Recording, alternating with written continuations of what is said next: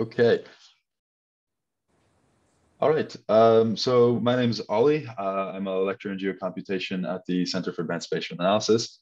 And I had been working on this tool for a while, which I thought was pretty cool uh, when I discovered it. Uh, when I when I discovered, I so I didn't discover the actual um, interference pattern or, or the, the nature of this interference to begin with. Basically, this Israeli geospatial uh, researcher that I follow on Twitter in 2018 noticed while working with uh, SAR imagery in Israel that there was a lot of interference, and he accidentally, you know, when you work with SAR imagery, you try to minimize interference, and you do so by usually, if you're aggregating temporally, uh, selecting the minimum value in the in the returns for a given time period. And he was doing some geoprocessing and accidentally selected the maximum value instead of the minimum value over a time period. And he noticed not only a large amount of interference, but interference that made a very distinctive pattern. And when he sort of interrogated the nature of that interference, and when he zoomed into the areas over which that interference was happening, he quickly discovered that uh, they were mostly centered around military bases. And then he did a bit more research and found that several of these were missile defense systems, in particular the uh, MIM 104 Patriot missile system, which is an American anti-missile uh, system that functions conceptually in a very similar way to Israel's Iron Dome. So it has an active radar that is scanning for projectiles coming at it in a very fast way. And if it identifies something coming towards it, it will automatically trigger a missile that will fly at the incoming projectile and attempt to destroy it. But in order to do that, obviously, it needs to be uh, listening for incoming projectiles. And um, this random geospatial researcher that I follow on Twitter kind of discovered this and and and made a post about it and was like, huh, this is this is interesting. Um, but I I was very sorry, taken taken by this finding, and it the the issue was that it wasn't something that really anyone could do if they were so inclined to. Uh, it involved, you know, you, you have to work you have to do some coding and you have to work with um, you have to import the synthetic aperture radar imagery and you have to aggregate it over a certain time period and you have to disaggregate it based on orbital paths and you have to you know select the maximum value. So this isn't something that anyone um, could necessarily just do very quickly. So my modest contribution to this i did not discover the fact that these radars these missile defense radars interfere with sentinel-1 imagery. Um, basically all I did was build a user interface around this that does the, the, the pre-processing for you um, that allows you to, that allows anyone basically to click and drag and identify military radars in this way. And this is something that became uh, strangely relevant in the weeks after that article uh, with Bellingcat and the tool were published. So let's let's get into what this is and, and how it works. So there are two main types of satellite. Uh, there are optical satellites, which basically have sunlight reflected by the Earth, uh, and they capture those wavelengths mostly in the sort of visible spectrum, but then the visible part of the spectrum, but then also sometimes they extend slightly beyond. You get some optical sensors that get infrared uh, and shortwave infrared, uh, but you know most most of the satellites earth, observe, earth observing satellites that are out there use optical imagery. Um, and yeah they function obviously in, in, in very similar way to the way that our eyes see the world and the ways that cameras take pictures. The second class of sensors are uh, active sensors and, and the main one in this category are synthetic aperture radar satellites which send out pulses of radio waves and measure the backscatter you lose some useful optical artifacts like colors and um, shadows and, and stuff like that. But you are able to do a bunch of other cool things like see through clouds um, and, and image at night uh, in situations where you know sunlight isn't available to you. Now, the European Space Agency's Sentinel-1 satellite sends out pulses of radio waves in the civilian C-band, so between like 4,000 and 8,000 gigahertz. And the, yeah, this is the, the wavelength of the radio waves that are being sent out by the uh, ESA's Sentinel-1 satellite.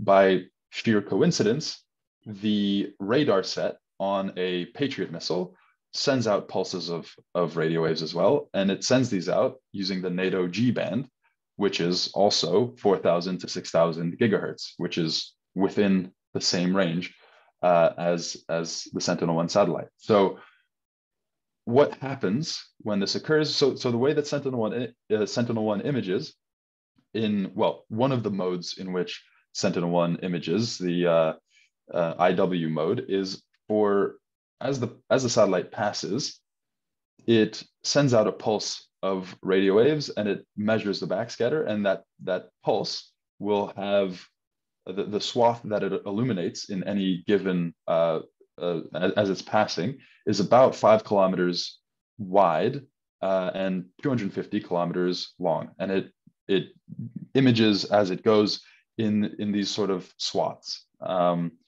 now, in normal imaging, it simply records the backscatter that is that, that returns to the satellite after it sends out uh, the pulse of radio waves. But if there is a potent source of C-band radio waves present on the ground, then it will affect the entire swath that the system is located in. So it'll create this sort of stripe across the image collection um, and you can usually get rid of these by if you've aggregate if you have multiple passes over the same location, chances are this radar isn't on all the time.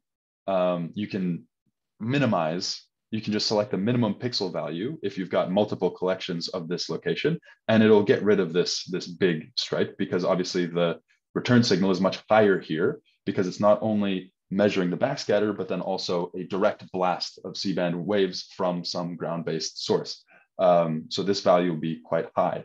Uh, usually you would filter these out by minimizing um, over a, a, time period uh, the, the pixel value. But if you maximize, then if a radar was turned on at any point over the time period in which you're aggregating, it will identify it. So if you have like, oh, if you aggregate over the course of a year and the radar was only turned on for one day when Sentinel-1 was overhead, you can see that radar because this will, in all likelihood, be the maximum value for this area in a given year because it's quite hard to to achieve um, uh, yeah for, for, the return signal to be as strong as uh, not only the return signal itself but the blast from the ground-based system so you can bring out this type of interference simply by maximizing um, the pixel values of an image collection over a given time period.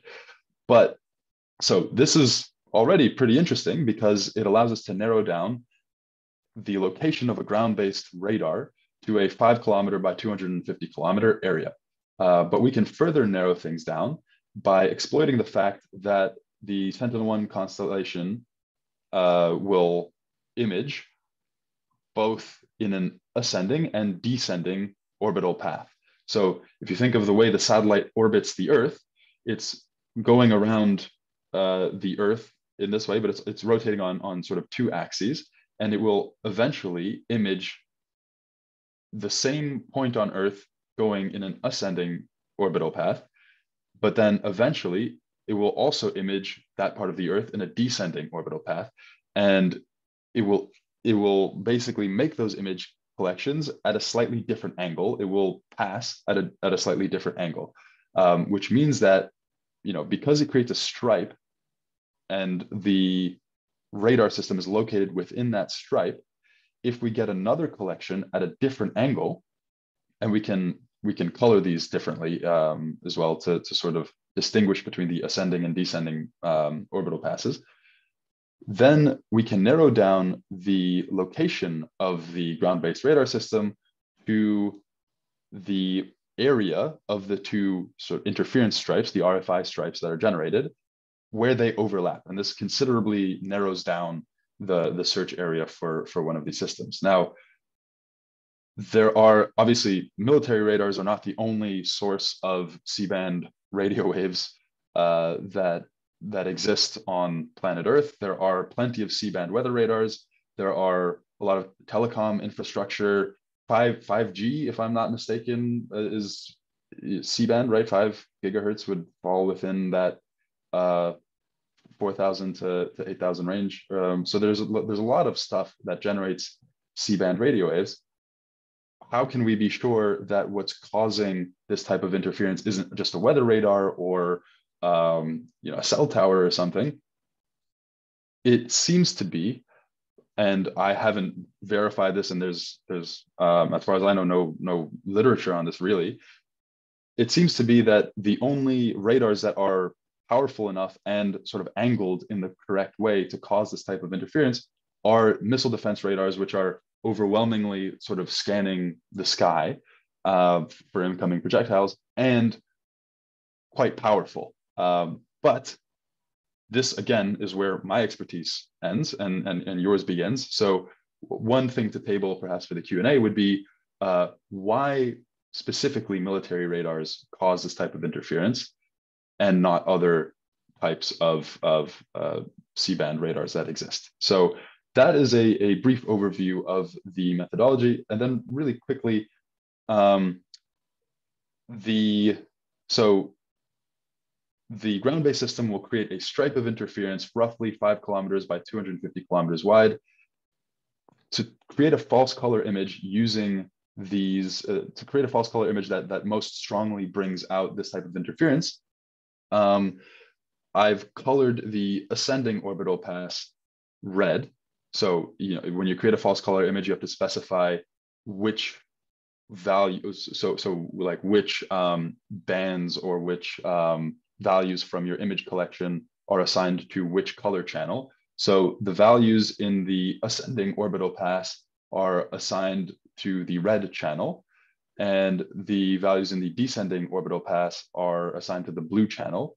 And the green channel is uh, assigned to a composite of the uh, VV polarization, so the vertical vertical polarization. The red and blue channels um, visualize the vertical horizontal polarization. Uh, and for whatever reason, again, this is this is a question for you. Um, these military radars primarily seem to cause interference almost exclusively in the VH polarization.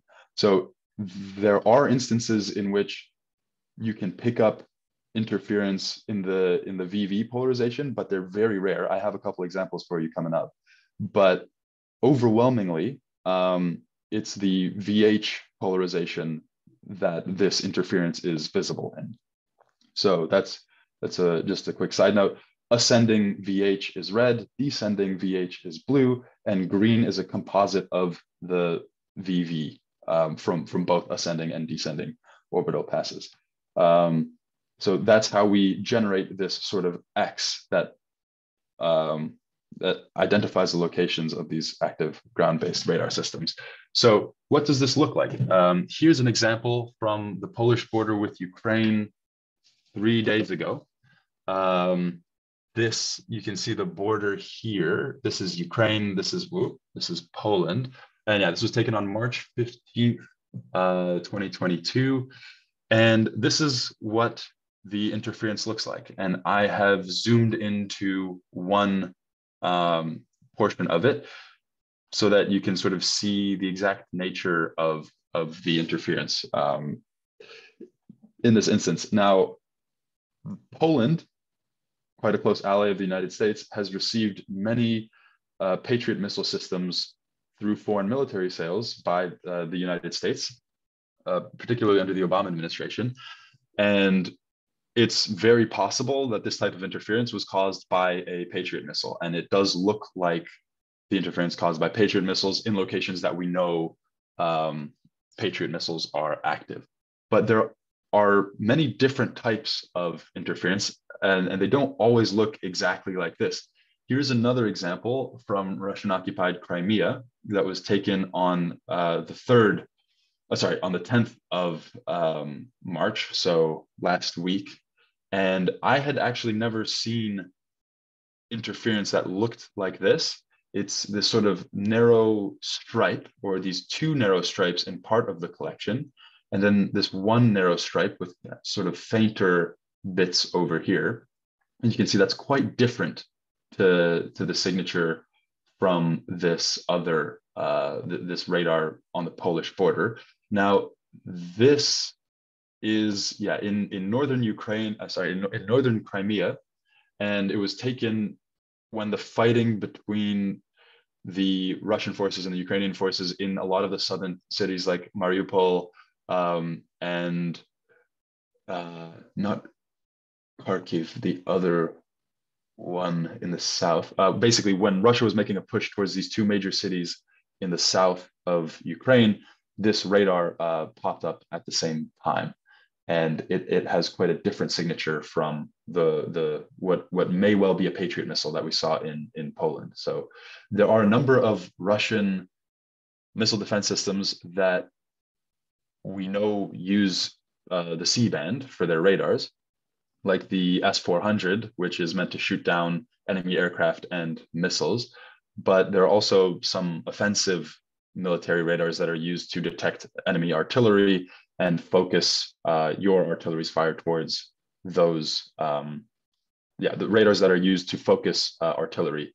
Also, some of them uh, in the Russian arsenal use C band. So it could be from either of those, or it could be something else. Again, I've never seen interference that looks like this. Often um, it, it, almost all of the interference that you'll find looks something like this, these little um, disconnected bars that usually have some warbly pattern in the middle. I, I don't know if there's technical language to describe the bars and the warbles, but again, we can get into that in the reverse Q&A. Um, here's another radar. I'm focusing on Ukraine, obviously, because um, I think that's where everyone's mind goes when there's an active war and you figure out how to spot military radars using open source imagery. Uh, this is near Kharkiv in Ukraine. It was taken four days ago. And because it's green, that means that this interference is actually in the VV polarization, which is quite rare. And again, I don't know why that would be. Um, so this is a uh, ascending, this is interference in the ascending orbital pass in the VH polarization. This is interference in the descending orbital pass in the VH polarization as well. And this is interference in the VV polarization. Um, and the, the green channel is a composite of both ascending and, and descending um, passes. And then another weird looking uh, radar, possibly multiple radars present um, and, and the, the RFI is like superimposed, uh, visible near Dimona in Israel, which is where they have their the Negev Nuclear Research Center, which is widely believed to be the location at which Israel uh, developed nuclear weapons. Probably a good place to um, protect with a missile defense system, given the neighborhood. Um, but we can see that there are different sort of the, the RFI signature is, is quite different in uh, even in this one collection. We have these long, thin bars. We have these slightly wider bars that some, you know, some of them have almost like a barbershop pole pattern, um, like this one and this one, these slightly wider bars. And then these long, solid stripes as well. So this could be several radars that are superimposed. This could be um, one radar operating in different ways. But in any case, this is an example of a collection in which we have both an ascending and descending.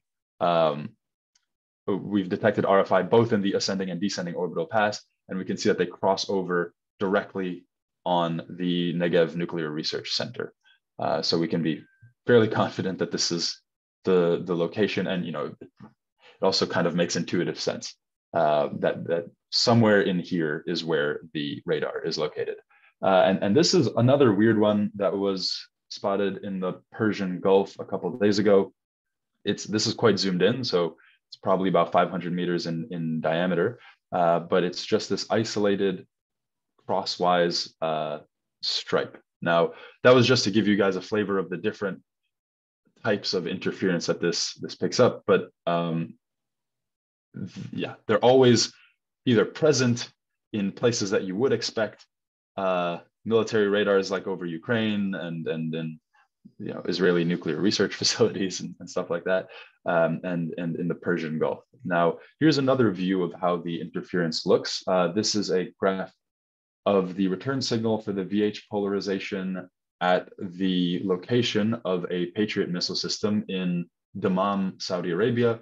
If you load the radar interference tracker tool, this is uh, the, the default view because it's such a clear example of it. And we can see there's some variation in the return signal uh, over time, but then we can see that at some point in mid 2021, we get massive spikes in the return signal that uh, that persists for quite some time. We can actually see it seems to be turned off for a little period here, but then it gets turned back on. Um, so okay, so that's that's a bit on how the how the tool works. So what the nature of the interference is, what different interference patterns look like, and how we're able to not only identify this interference, but do some image processing that allows us to narrow down the search area um, by creating a false color image and disaggregating the imagery based on the orbital pass of the, of the satellite.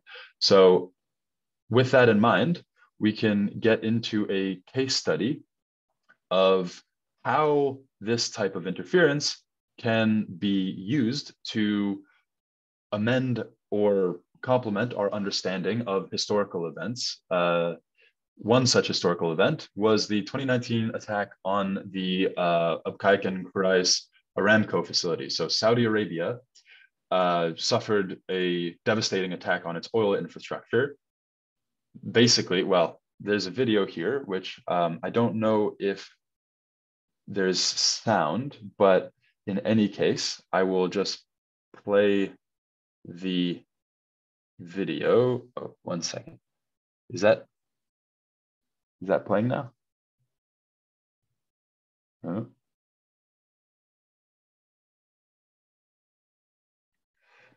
Hmm, okay. Um, anything. oh. It's it's not playing. Uh, I have to. Sorry, I have to enable enable content. Uh, one second. Okay, I think if I press it now, it should play. Oh, come on. Can I not play the video? Hmm. That is, wait. Technical difficulties. Why does this never? One sec. Um, well, even the cover photo is is uh, fairly striking of this um, attack. But right, hold on. Oh, there we go.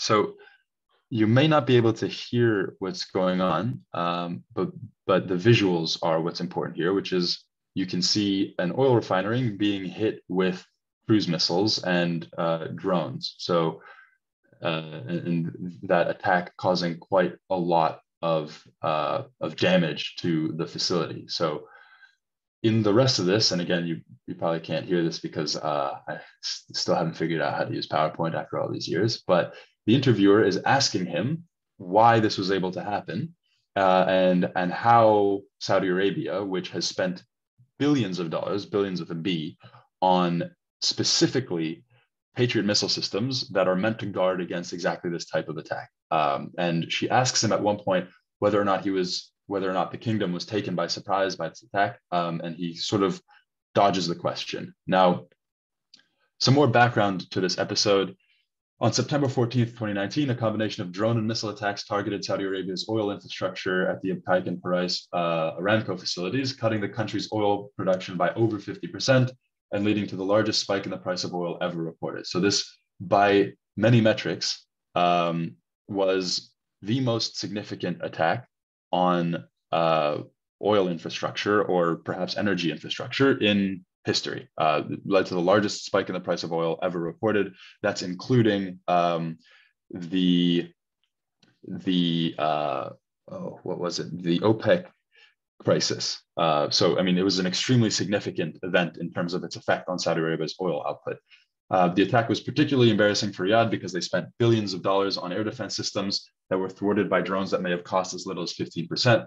But here's the important part the expert consensus is that this attack was successful due to a failure of intelligence. So the Saudis were caught off guard, and the element of surprise gave Iran a decisive edge.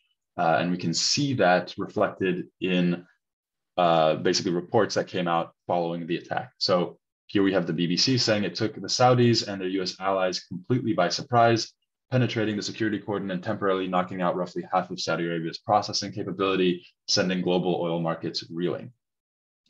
Uh, Dr. Uzi Rubin, who is an expert on missile defense and was the founder and first director of the Israel Missile Defense Organization in the Israeli uh, Ministry of Defense, uh, who himself produced and, or, or not, not he himself, but he oversaw the development, production, and deployment of the country's first missile defense shield, the Arrow missile, which was sort of the precursor to Iron Dome. So basically, the grandfather of Iron Dome, probably someone who knows a thing or two about defending against missile strikes, um, says the key to avoiding a Saudi style debacle in Israel is prior intelligence and seamless early warning systems. So, squarely placing the blame for this devastating attack on Saudi's oil infrastructure on the fact that they simply didn't know that an attack was coming and this was a failure of intelligence and that this would have been solved with early warning systems.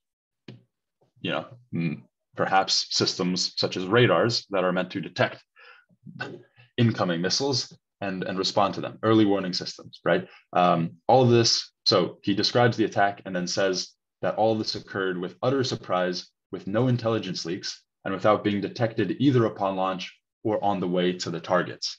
So he again chalks this up to the fact that Saudi Arabia was caught completely by surprise. Um, and then finally, this is the last one I promise, but there, there are many other examples. If you Google the 2019 um, Aramco attacks, the Guardian, they, they did a, a piece on how this attack was able to succeed despite um, Saudi Arabia's ample spending on uh, missile defense. They say this attack was something new. It was not something the Saudis were expecting to happen. Um, the U.S. intelligence, U.S. shares intelligence with Saudi Arabia, but it also has its own limitations. According to the chairman of the Joint Chiefs of Staff, General Joseph Dunford, we do not have an unblinking eye over the entire Middle East at all times. So even the U.S. General Staff, say uh, Joint Chiefs of Staff, saying this was a failure of intelligence. But was this actually a surprise? Well, we can check because when someone turns on a missile defense radar, particularly a Patriot missile, we can see if it was turned on at a certain time um, and Sentinel-1 was overhead. So what I've done is basically load the tool. This is what it looks like. Um, you can share uh, attacks or you can share its scenes at a particular location, latitude, longitude, and zoom level and date using, it has a sort of like a little API on the end here. Um, but if you get rid of that, it'll just take you by default to uh, a different part of Saudi Arabia. And what we can see here is imagery being loaded in August of 2019. Remember, the attack was basically a month after this. We don't see any RFI over. Um, so this is the Abqaiq processing facility, I should say. This is the, you remember in that video uh, when we saw oil tanks getting hit by cruise missiles. These are the tanks that were getting hit. So this is the facility that was hit by by the cruise missiles. Um, and we can see that in 2019, including September 2019, which is when the attack occurred, there's no RFI. But then after the attacks, right after 2019, we see a bunch of spikes up here. Uh, and if we load imagery, and you can load imagery from a given time by clicking on it, um, this is Abqaiq, we can suddenly see very strong RFI over the Abqaiq processing facility in the immediate aftermath of the attack. So what does this tell us?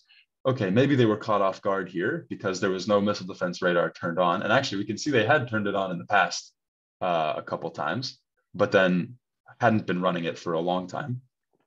Um, and we can see that they're basically the attacks motivated them to actually turn on these missile defense radars in in late 2019, early 2021, uh, early 2020 rather, and we can see strong RFI over this processing facility in the aftermath of the attacks.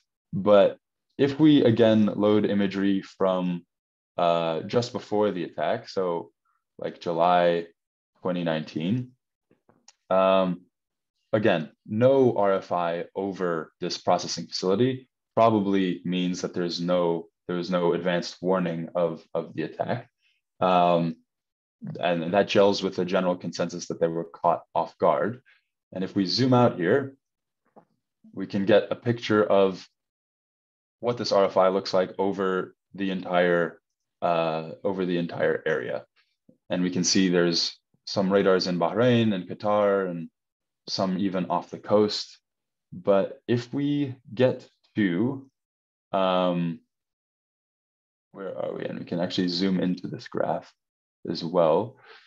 Uh, by scrolling, you can zoom in on the graph. Um, in, so the attack, remember, was in September 2019. So if I click on September 4th, 2019, for example, right before the attack, or even September September 16th would have been after. So let's go September 4th, right before. Um, we can see there, there is a bit of RFI near Abqaiq, but we can see that's actually originating from Bahrain, right? Because there's uh, the interference lines cross quite neatly over the coast of Bahrain, and this is simply in range. If we look in July 2019, there's nothing up here. But if we look in August, the month before, we also see nothing up here, but we saw a radar up there just a second ago. What happens when we go to September, the month of the attack? Suddenly a radar appears in this part of Saudi Arabia where, where it hadn't before. Let's, let's have a look at what's going on with this radar. Um, we can query RFI at a given location simply by clicking on the map. So I've clicked on, on this RFI. Um, a tip if you're using the tool is if there is water anywhere, um, if you're if the RFI passes over water anywhere, it's it's very good to measure it over water because there's less background noise and you get a cleaner um, signal for when the the uh, interference started. And the entire Sentinel-1 collection is uh, about seven petabytes. So this thing is really crunching. Uh, but here we can see nothing, nothing, nothing until September 9th. We can zoom in and look at this in greater detail. You can see on August 31st, no sign of a radar. Uh, and we can load daily imagery as well, which, which you know, that was a composite. Um, but if I load imagery from like August, for example, August 24th, all quiet, nothing going on here. We can even see some ships off the coast. But then suddenly on September 9th, if I click here, suddenly something is turned on. Um, and if I zoom in to the area that it's turned on in, I see a configuration of, of three trucks plus a bunch of launchers which is very characteristic of a Patriot missile defense system. Um, okay, so that's kind of weird. Five days before the largest attack on Saudi Arabia's oil infrastructure, and indeed probably the most significant attack on oil infrastructure in, in history, a missile defense system is turned on for the first time in about five years. And what is a couple hundred meters to the north, but another oil refinery. And this isn't just any oil refinery, this is the Safaniya plant. Um, and if we go back to the presentation, and if we do any background research on the Safaniya plant, we'll find that the Safaniya oil field, so located just off the coast there that we were looking at, is the largest offshore oil field in the world. It produces 1.3 million barrels of oil per day, and it contains an estimated 34 billion barrels of oil and over 5 trillion cubic feet of natural gas. Most of the oil from the field is processed at the Safaniya Processing Center, which is what we just looked at, located in the country's northeast. I should say much closer to Iran than either the um, the Abqaiq or Qurais uh, processing facilities. So Safaniya is here, right? If I if I click there, that's this is where Safaniya is. Okay, that's it. Um, this is Saudi Arabia. This is Iran, and uh, the attack is uh, believed to have originated at the Omidiyeh Air Base, which is over here. Safaniya is here. This is the world's largest oil field and the processing center that processes the oil from it. But the attacks actually hit down here, uh, which means that the missiles probably went around and hit. Uh, and we can tell this based on the trajectory of the attack that the missiles hit over here. Um, they, they actually came from the west, uh, despite having been launched from Iran, which means they probably did a, a curve of some kind. But in any case, what this tells us is that maybe the Saudis were caught off guard at the Qurais and Abqaiq processing facilities. So here and here is where they were attacked. Maybe they were caught off guard, and the expert consensus is correct that they were caught off guard at these two facilities. But using open source radar interference, we can tell that a missile defense system was turned on for the first time in five years, five days before this attack, at the country's largest oil refinery, which also happens to be located quite a lot closer to Iran than these other two areas. So this now we enter the realm of tinfoil hats, but that's either a hell of a coincidence or this RFI pattern may suggest that the Saudis actually did have advanced warning of this attack, and this was not an intelligence failure. Uh, they simply knew the attack was coming and somehow still were not able to defend themselves, which is obviously something that is, in my opinion, far more embarrassing for Saudi Arabia. Um, so yeah, just to recap, and we can tell uh, both the Abqaiq processing center and the Safaniya processing center. So this place was the place that was hit by the attacks. And this is the place where Saudi Arabia probably expected the attacks. These are both locations that are on the CIA's list of critical foreign dependencies. So the CIA maintains a list of locations that are vital to US national interest um, and worthy of direct US protection if the host country is not able to protect it.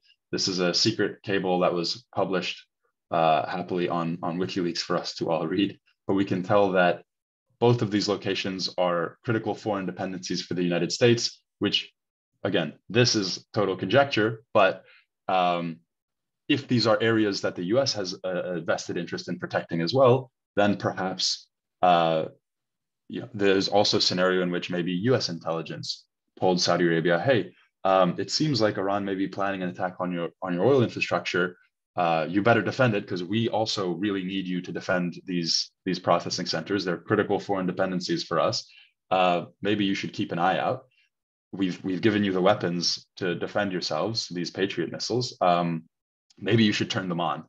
Uh, and, and maybe dutifully, Saudi Arabia turns on their missile defense systems at the location they think most likely uh, for uh, an Iranian attack. Um, and it seems like maybe they then actually miscalculated. Um, so, yeah, the, the final recap in 2019, Iran successfully carried out the largest attack on oil infrastructure in history by hitting Aramco facilities in Abqaiq and Qurais. The expert consensus was that the attack was successful due to an intelligence failure and that the Saudis were caught completely off guard.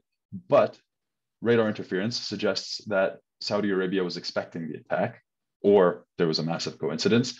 For the first time in four years, Saudi Arabia switched on a Patriot battery facing Iran to guard its largest offshore oil field five days before the attack on Abqaiq. Um, so this is how open source RFI brought out by this tool can be used to perhaps like gain a new angle on a historical event that there was a strong consensus uh, on. But that about does it for the introduction of how this tool works and how RFI um, is, how, how, to bring out this uh, missile defense based RFI in open source synthetic aperture radar imagery and a case study of how it can be applied to analyze uh, conflicts and then perhaps draw new conclusions. And then also a, a, tour of a couple radars in uh, Ukraine in the past week. Um, that that does it for what I've got prepared. Um, I would love to hear your thoughts on why the, why these different patterns um, emerge and why some affect the VV polarization and some affect the VH polarization and why some have these specks and and and bars and some have these solid lines. Um, so we can do some some blended Q&A here. But if you have any questions about what I've presented so far, I'd be happy to answer them. And if you have any thoughts about uh, what's going on here, I'd love to hear them.